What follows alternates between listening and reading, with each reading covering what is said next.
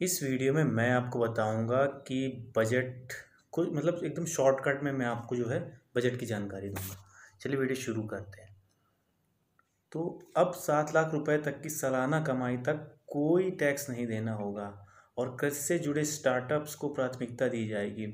आगामी तीन वर्षों में केंद्र सरकार तीन दशमलव पाँच लाख आदिवासी छात्राओं के लिए सात सौ चालीस एकलव्य मॉडल आवासीय विद्यालय शुरू करेगी।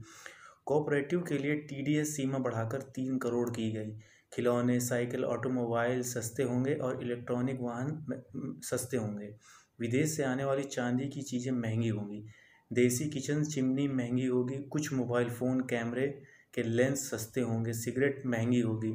महिला सम, सम्मान बचत पत्र योजना शुरू होगी। इसमें महिलाओं को दो लाख की बचत पर सात दशमलव पाँच प्रतिशत का ब्याज मिलेगा। वरिष्ठ नागरिक खाता स्कीम की सीमा चार दशमलव पाँच लाख से नौ लाख की जाएगी।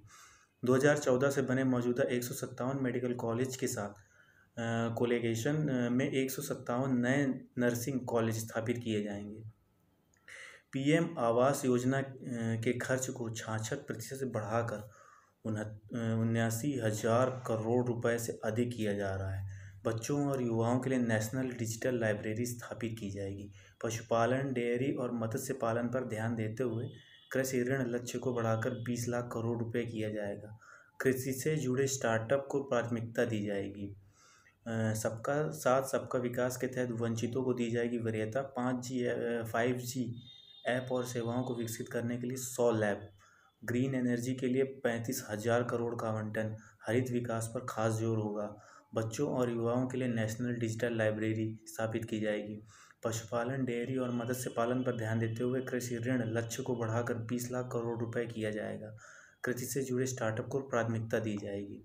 अगले तीन सालों में सरकार आदिवासी छात्रों को समर्थन देने के लिए सात सौ चालीस एकलव्य मॉडल स्कूलों के लिए अड़तीस शिक्षकों और सहायक कर्मचारियों की नियुक्ति करेगी। देश में पचास नए एयरपोर्ट बनाए जाएँगे। पहचान पत्र के तौर पर पैन को मान्यता मिल गई है। एआई के लिए सेंटर फॉर इंटेलिजेंस का भी जो है हो गया है। नगर निगम अपना बॉन्ड ला सकेंगे। पीएम आवास योजना का फंड बढ़ाया जाएगा। अगले वित्तीय वर्ष में रेलवे के लिए दो दशमलव चालीस लाख करोड़ रुपए का प्रावधान किया गया, यानी कि वैकेंसी भी आएँगी इससे जो है रिलेटेड। अगले एक साल तक मुफ़्त अनाज योजना इसके लिए दो लाख करोड़ रुपए का बजट।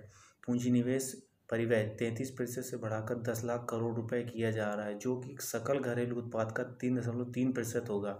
महामारी से प्रभावित एम एस एम ई को राहत दी जाएगी। पाँच जी पर रिसर्च के लिए इंजीनियरिंग कॉलेजों में बनेगी सौ लैब और सीवर सफ़ाई मशीन आधारित होंगे ये। ये जानकारी कैसी लगी। वीडियो को लाइक करें, चैनल को सब्सक्राइब करें। दोस्तों, मैंने कम समय में आपको शॉर्टकट में बताया है। कि जो है, कैसे लगा आपको वीडियो? कमेंट करें, वीडियो को लाइक करें, चैनल को सब्सक्राइब ज़रूर करें। जय हिंद दोस्तों।